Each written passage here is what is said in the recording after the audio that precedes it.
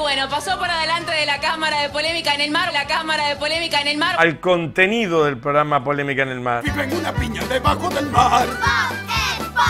Soy una esponja. La realidad es que los números mienten, crecieron los homicidios en el trimestre. Ahora podemos salir con cartera. Pasamos de 72 en el año 21 a 96 en el año 22. No, sí, no, sí, no, Tenemos una disminución importante de rapiñas no, sí, no, sí, no, y un aumento de hurtos. del 3,2%. no, sí, no, sí, no, Y una disminución del abigeato del 16,3%. no, sí, no, sí, no, Y un aumento. El tema de la violencia doméstica entre 22 y 21, un 11,2%. no, sí. No, de nuevo no. No de nuevo decir. Siete veces lo mismo y yo no puedo hablar.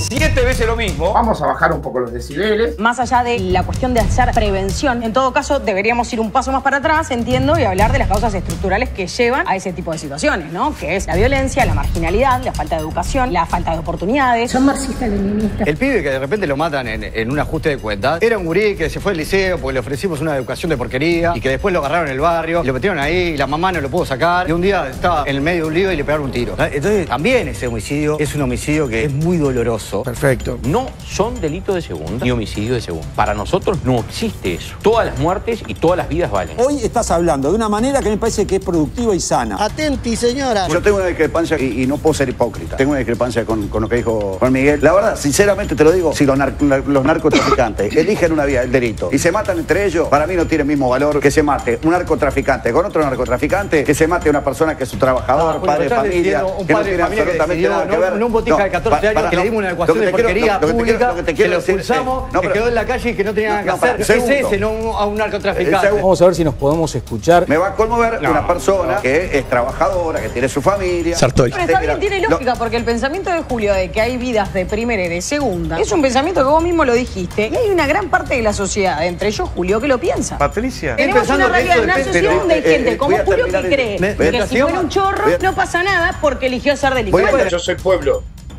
No soy delincuente. Eh, no voy a venir aquí a hacer demagogia ni hipocresía, por lo menos de mi parte. No voy a venir aquí a hacer demagogia ni hipocresía, por lo menos de mi parte. Y sí, sos vos. Pero yo quiero te estoy decir es, para mí no- interpretando. Para mí No, no la demagogia la estás diciendo vos porque pa- eso es mucho más fácil de decir que lo que estamos diciendo nosotros. No, la demagogia la estás diciendo vos porque eso es mucho más fácil de decir que lo que estamos diciendo nosotros. El hombre le dijo, ¿para qué tuviera? ¿Para qué guardara? Y para que pusiera a enfriar. La gente compra ese discurso No, enseguida. Ah, los delincuentes son los Acá- malos acá hay y el varios- resto somos los buenos. Acá hay acá ¿Saben qué pasó en Uruguay? acá Bajó cuatro veces la también a pobreza veces de y hay 40 varios que a 10% de la tribunan pobreza. acá. Y cuando yo estoy la cuarta parte, tribunando. La cuarta parte de la Pero pará, Perdón, ¿cómo? Acá ¿Saben qué pasó en Uruguay? Acá Bajó cuatro veces la De y hay 40 varios que a 10% de la tribunan acá. pobreza. Y cuando yo estoy la cuarta parte, estoy tribunando. La cuarta parte de la pobreza. Se hace un análisis Pero pará, de lo que está pero diciendo. Son como para levantarse con un 32, sí, hacerlo No, no, no. No, sí, no, sí, no.